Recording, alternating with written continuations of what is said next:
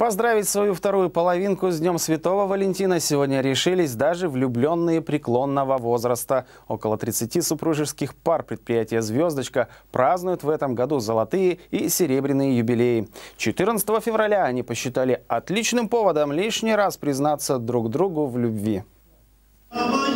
Клавдия Ивановна и Вениамин Васильевич Скороходовы в этом году отмечают золотую свадьбу. Сегодня они в числе приглашенных на вечер в честь Дня Святого Валентина. Профсоюз «Звездочки» поздравляет супружеские пары со знаменательными датами. 50 лет вместе для бывших работников завода пролетели как 25. Тем не менее, пара до сих пор живет в согласии и любви. Правда, кто кому сделал предложение, до сих пор не определились. Вы разве все помнишь? Предложение нам не сделали? Мы были в Архангельске, они меня встречали, приезжали вот с подружками и пришли к его родителям. И мама, после того, как мы посидели, чаю попили, уехали, она, мама ему сказала, Веня, я тебя благословляю, вот женись на этой девушке, которая сидела на окошке.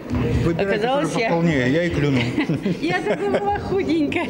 Она тогда была такая, как вы. А вот, а вот откормил.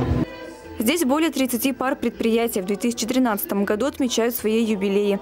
25, 30, 35 и так до 50. Такой семейный праздник уже стал традицией профсоюза «Звездочки». Второй год каждая пара предприятия принимает подарки и творческие поздравления от коллективов города. Потому что в любом случае человек, он ведь многогранен. Он не только на производстве, он и в семье, и в каких-то увлечениях. Э, значит, и поэтому, конечно, мы считаем, что это тоже достойно внимания профсоюзной организации организации. Каждой паре при поздравлении было предложено рассказать о себе, взамен бурной овации и уважения. Также к супружескому юбилею все получили воздушные шарики.